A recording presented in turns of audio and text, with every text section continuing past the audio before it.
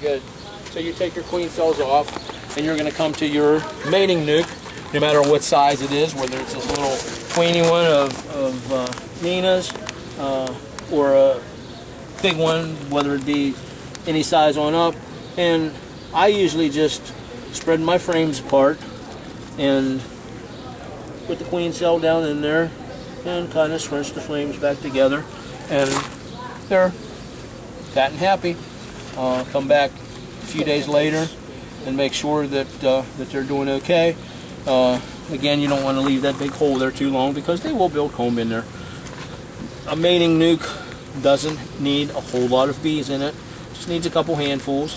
This is your feeder. It's built into this little box. Got a little screen for the bees to walk down so that they don't get uh, drowned in the in the stuff at the bottom. Uh, it's got wax on the bottom to keep it sealed, and uh, you know, and that's uh, that's what uh, all it's needed. And these are little miniature frames that you know the, the bees didn't draw that out in here. These are put into another box, couple boxes that are made to set over top of a full hive to draw the comb out and uh, you know, and that's that's pretty much what what gets done with. Uh, you guys are moving in about five minutes, and your move will just be inside here. Okay. Okay, thank you.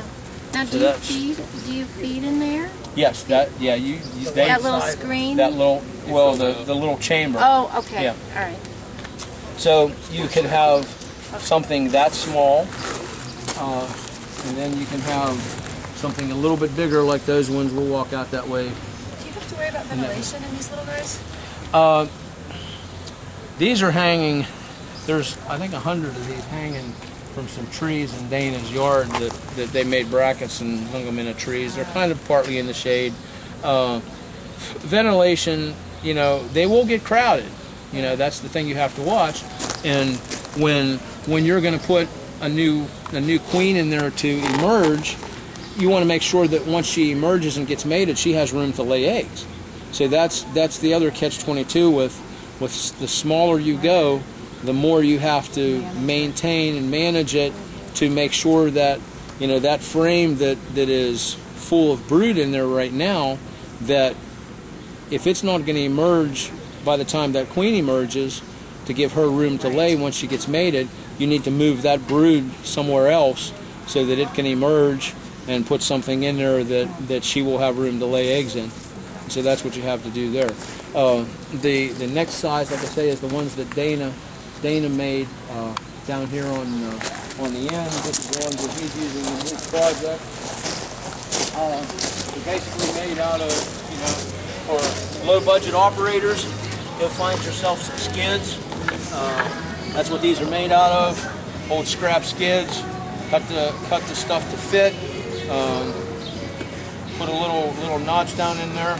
Uh, scrap skids for the sides and the top and the bottom.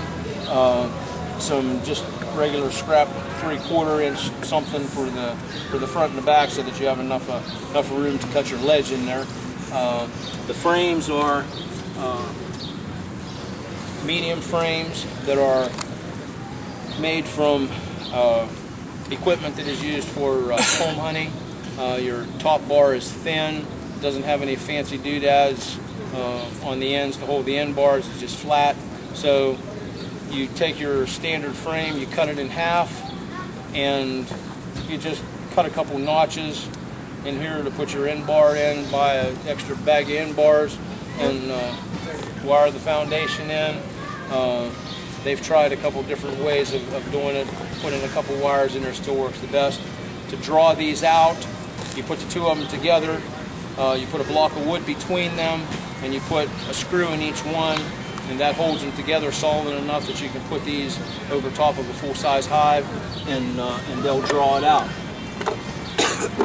now, the other way of putting the queen cell in, rather than stick it in the top and keep the, the frames spread apart, you can take and put the queen cell basically in the center of the frame. And there's the queen right there. Pretty black beauty. she is a beauty. And uh, you can look at the cell and you can see that she definitely has emerged. And uh, know, and so th- this lets Oh, you keep your spacing between your frames a little bit better. But uh, she's a real pretty one. So that's the other way of of putting the putting your queen cell in. There's there's ample room to do it do it that way. It just again depends on the individual how you want to do it. You know the old saying: you ask ten beekeepers the same question, you're going to get at least twelve answers. Um, so you can use mini nucs, mini mini or little baby nucs, mini nucs of some kind. You can use uh, nucs that that have uh, five frames, mediums, and this is one. This is this is there's how that's how those are that's how those are put together. Uh, this box is a little old and sloppy, like it's uh, barely fits the frames in it, like that one's clear down the bottom. Uh, so you can do mediums, uh, you can do full size, like this one is a this one has a four frame, uh, four frame nuc uh, instead of uh, instead of five frame. Uh, you can get the uh, the big boxes in what they call the queen castles, which are divided into either three sections or four sections or two sections. You can you can have one of those with a with a thin piece of masonite down the center that uh, you can have two five frame nucs in, in one box. You know, so it's again just on the on the preference and the equipment you have available or the equipment that you want to buy.